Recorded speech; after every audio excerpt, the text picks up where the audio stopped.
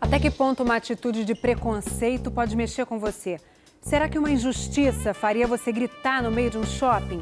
Ou chorar por um completo desconhecido? O repórter Ernesto Palha está de volta com uma nova temporada de situações polêmicas.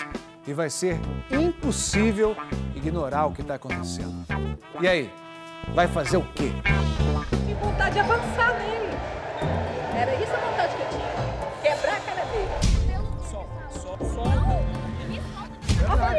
cadeira e botar na cabeça dele. Você chega lá, moço, não faz isso com a sua filha. Quando eu vi a menina chorar, eu me levantei. Hoje vamos falar de um assunto espinhoso, difícil.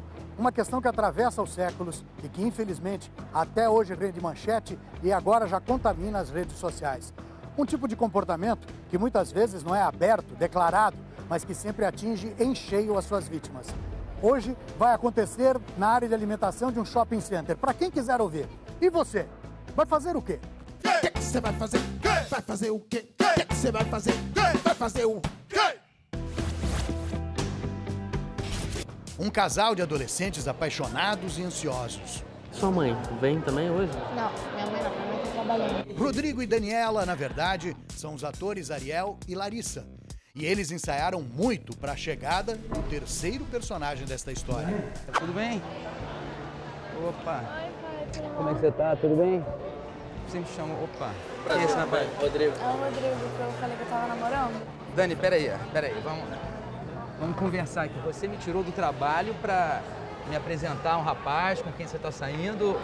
É esse rapaz, o seu namorado? É, o Rodrigo que eu falei que tava namorando há dois meses. Minha filha, esse não, não. Só um minutinho, solta a minha filha, solta a mão da minha filha. Rapaz, olha só. que isso, Minha pai? filha, a sua mãe certeza. sabe que você tá saindo com esse menino?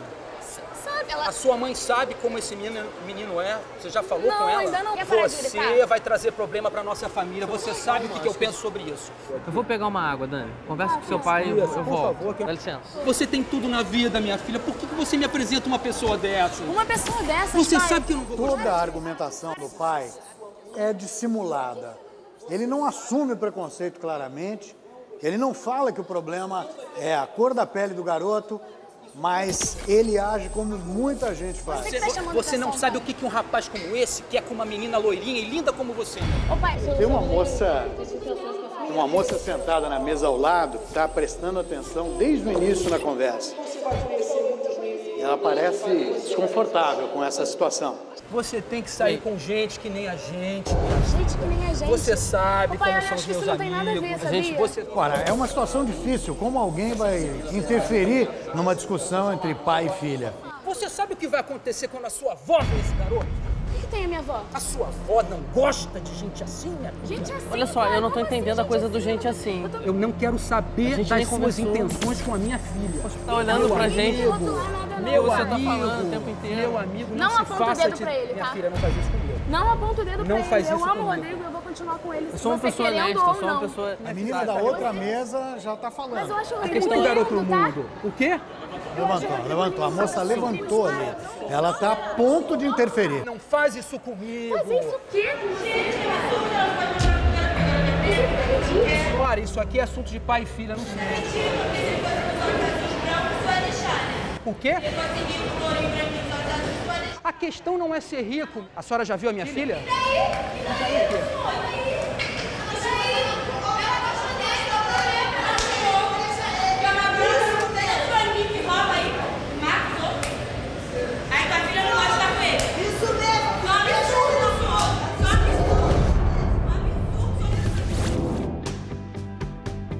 Deixa eu explicar para a senhora. Isso aqui é uma cena que a gente montou com atores. Eles são atores, a senhora pode ficar tranquila. Eu vi que a senhora ficou emocionada. Eu bati na mesa, eu vou botar a cadeira em cima dele. Vou, eu parei de comer. Não precisa partir para violência. Mas, Eu revoltada com mas é isso. fato que uma coisa dessas deixa a gente realmente indignada. Eu, eu fico indignada. Eu faço. É preto, não interessa. Eu, eu não gosto de ver que eu faço. O meu não tem racismo. Eu me casei com preto, gosto do preto, gosto muito do pretinho. A senhora Eu acha que as pessoas hoje estão mais abertas, mais disponíveis assim a aceitar o diferente ou não? Eu acho que tem pessoas sim, mas tem pessoas que se escondem. Diz que aceitam que isso, que aquilo não é a família dos outros. Quando são na delas, aí já. Calma aí. Eu trabalho com pessoas como você na minha empresa. Você está entendendo? Você sabe disso, Daniela. Eu não tenho nenhum problema com isso, mas na nossa família, não, Daniela. Eu acho que existe muita gente preconceituosa. Preto fedido, cambada de preto, preto sem vergonha, macaco. A partida era contra o Grêmio, em Porto Alegre. Estava no fim e o Santos ganhava de 2 a 0. O goleiro queria que as câmeras registrassem as ofensas, por isso começou a gesticular. E chamou a atenção do Brasil para um problema terrível que se repete dentro e fora dos campos de futebol. E eu via no olhar, no rosto daquelas pessoas que eles estavam satisfeitos em ferir daquela maneira. Você sabe o que, que vão falar de você com esse garoto, minha filha? Falar o quê, pai? Você, as festas que a gente dá na minha casa, Ah, quando eu chamo o pessoal ver. do meu trabalho, você vai Ah. aparecer de repente com um garoto desse? Olha, essa moça resolveu interferir diretamente na cena. Agora, é curioso, ela se dirigiu ao garoto. Você vai ficar aqui ouvindo isso? Eu já cansei de bar. Entendeu?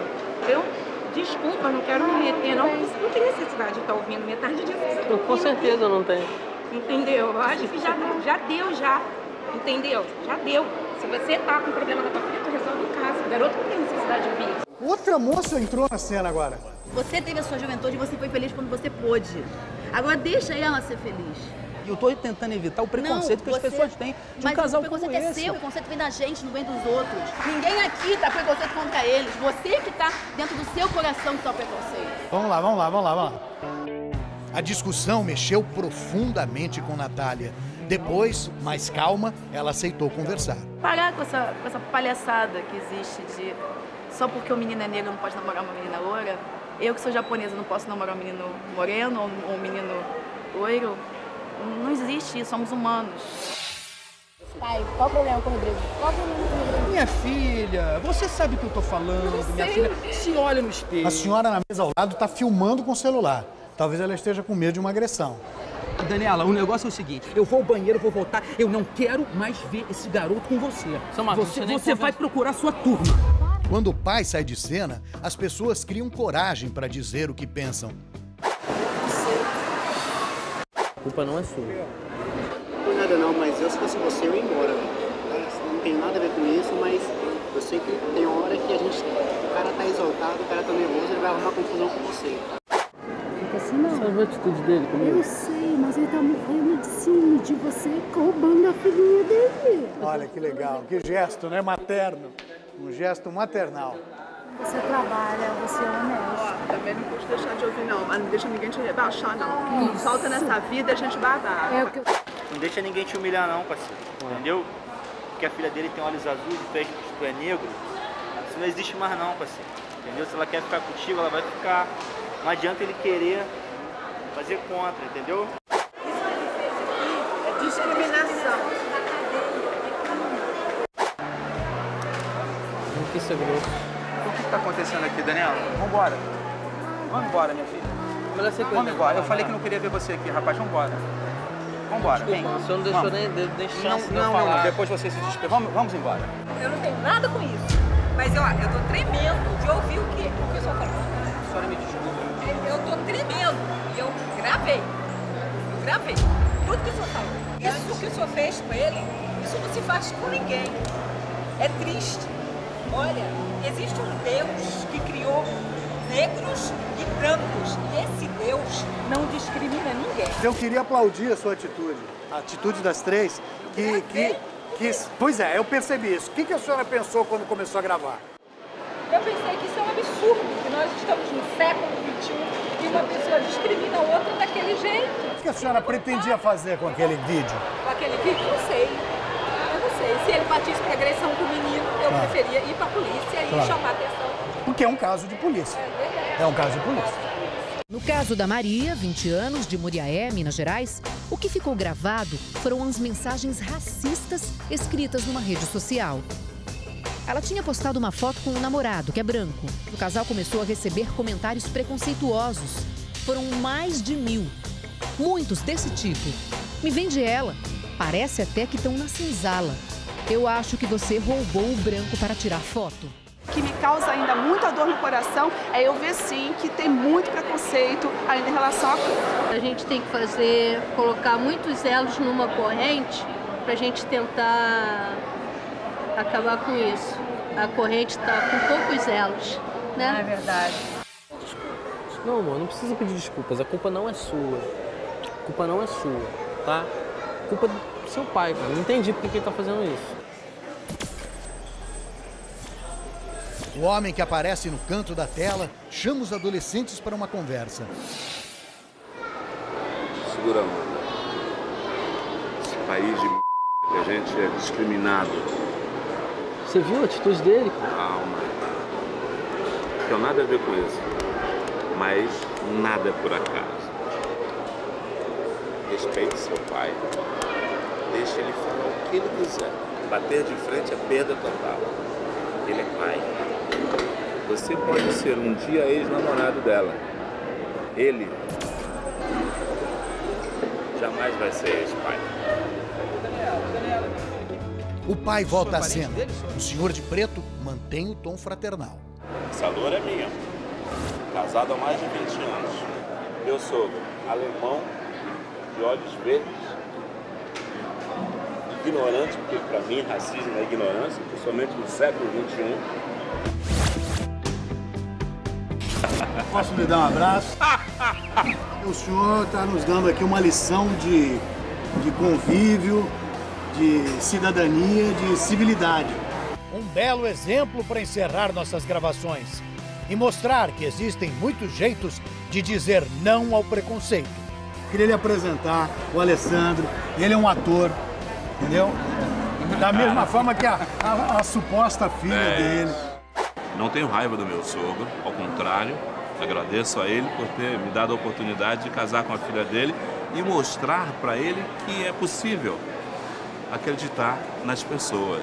Mas é difícil ter tolerância com quem não mostra tolerância. Mas como, Ernesto, eu vou te mostrar que você está errado partindo para a briga, entendeu? Não é fácil. Cara. Obrigado por compartilhar com a gente essa história.